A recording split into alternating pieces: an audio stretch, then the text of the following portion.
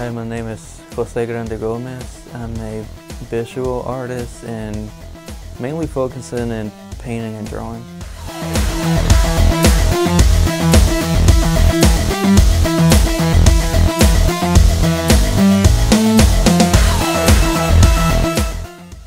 Uh, mainly in life.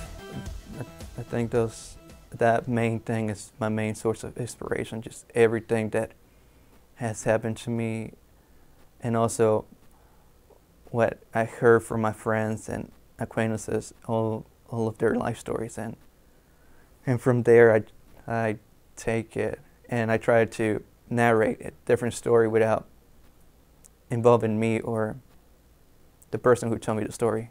So I'm just trying to tell the story with it different.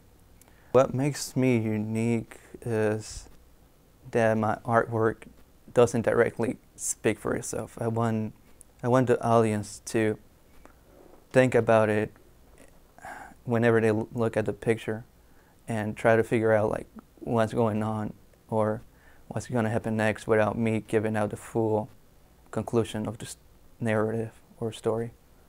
And I think that's the fun part about me creating it is having that um, output coming um, towards me or the feedback from everyone that sees my paintings or drawings.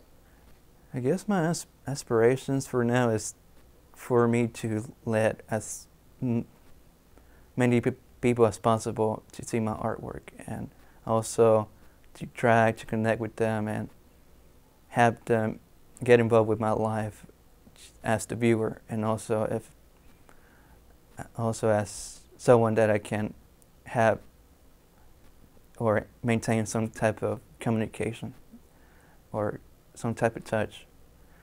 And yeah I want my work to go out there without me even knowing that it might reach somewhere.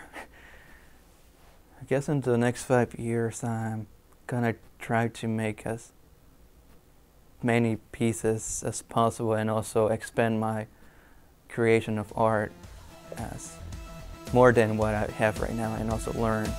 My name is Jose Grande Gomez and I'm a raw artist.